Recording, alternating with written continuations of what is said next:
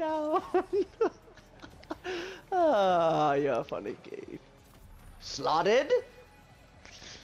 What about you, kid? You got any ideas what you're doing the 14th? No, I'm keeping my options open right now. Okay.